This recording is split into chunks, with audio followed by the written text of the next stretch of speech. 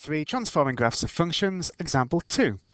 This time we are sketching the graph of y equals the modulus of 3x minus 2. Similar to example 1, I'm first going to imagine that the modulus signs are not there. If we had to draw the graph of y equals 3x minus 2, then let's think, where would it cross the y-axis? Well, when x is 0, y would be 3 times 0 take 2, so y would be minus 2. So this would cross the y-axis at minus 2. Where would it cross the x-axis?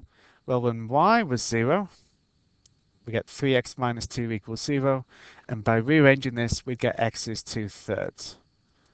So the graph would cross the x-axis at 2 thirds 0, and cross the y-axis at minus 2, and if the modular signs were not there, this is how it would look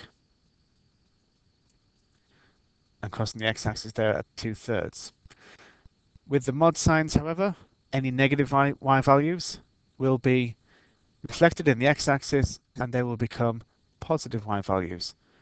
So this section of the graph, where y was already positive, is not going to change.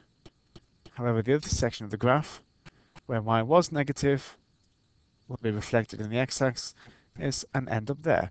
So the reflected graph or rather the reflected portion of the graph, will cross the y-axis at 2. So at this point, x is nothing and y is 2. And cross the x-axis at 2 thirds 0. So x is 2 thirds, y is 0. That's the graph of the modulus of 3x minus 2.